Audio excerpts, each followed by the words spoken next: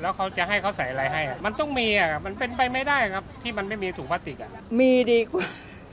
เราไม่ต้องเตรียมพร้อมไงฮะ ถ้ามันเปลี่ยนปุ๊บปั๊บปุ๊บปั๊บเลยมันก็ไม่ได้ มันต้องค่อยๆช่วยกันรณรงค์หรือการช่วยกันลดลงไป ค่ะ คือปกติจะเป็นคนพกถุงผ้าอยู่แล้วค่ะ ส่วนมากจะไม่ค่อยรับถุงพลาสติกค่ะ ก็เป็นเรื่องที่ดีนะ ซึ่งต่างประเทศเขาก็ทำพลาสติกมันก็คือแบบทำให้โลกร้อนอะก็พกถุงผ้าไปด้วยทุกที เดี๋ยวนี้ถุงผ้ามันมีแบบพับเก็บได้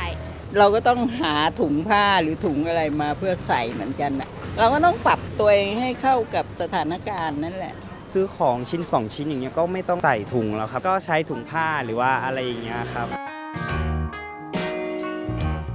ไม่ไม่แค่จ่ายแค่นี้ก็ไม่ไหวอยู่แล้ว จะให้จ่ายค่าถุงอีกก็คงไม่เอาอะครับ ก็จ่ายครับ ซื้อเยอะๆอย่างเงี้ยแล้วถ้าเราไม่มีเราก็ต้องซื้อครับ เราก็ยอมนะ มันก็จำเป็นไงคือถ้าของที่เราจะใส่มันจำเป็นจริง ๆ แล้วมันอาจจะเกินกำลังของเราจริง ๆ เราก็ต้องยอมเสีย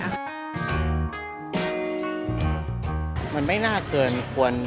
ควรเกินถุงสองสองถุงบาทอะไรเงี้ยก็ประมาณ 2 บาท2บาทเออสองสามบาทอะไรเงี้ยไม่เกิน5บาท ถุงละ 5 บาท ก็น่าจะสมเหตุสมผลกับการผลิตมาแล้วก็ย่อยสลายไป อาจจะแค่เล็กๆ น้อยๆ อาจจะบาท 2 บาทเลยอย่างเงี้ยค่ะบาทหนึ่งนะครับ น่าจะอยู่ว่าบาทหนึ่งว่าว่าบาทสองบาทมันก็พอสมควรน่ะ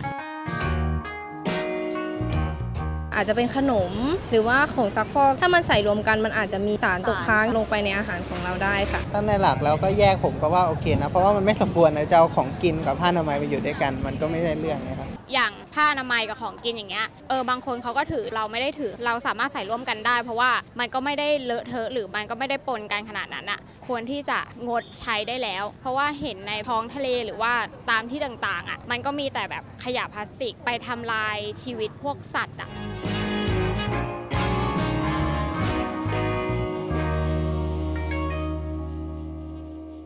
วันนี้คุณป้ารู้ไหมครับว่าเขารณรงค์ว่างดใช้ถุงพลาสติกวันนี้ครับทราบพอค่ะทราบพอดูข่าวอยู่แต่ว่าวันนี้เซเว่นก็ยังแจกถุงใช่ไหมใช่ค่ะ แจกหมดลูกค้าเยอะด้วย